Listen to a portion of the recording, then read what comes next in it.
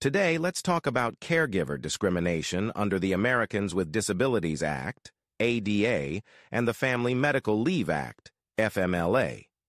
What is caregiver discrimination? Caregiver discrimination occurs when employees are unfairly treated due to their caregiving responsibilities, such as caring for a disabled family member.